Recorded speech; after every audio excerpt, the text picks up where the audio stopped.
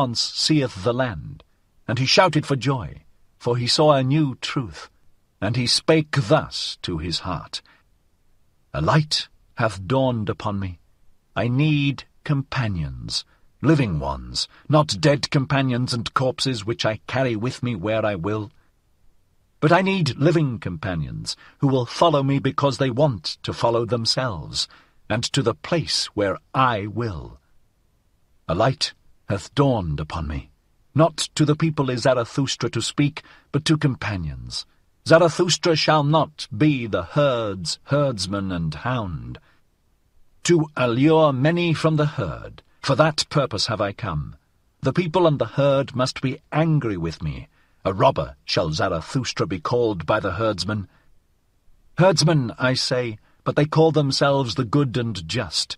Herdsmen, I say, but they call themselves the believers in the orthodox belief. Behold the good and just. Whom do they hate most? Him who breaketh up their tables of values, the breaker, the law breaker.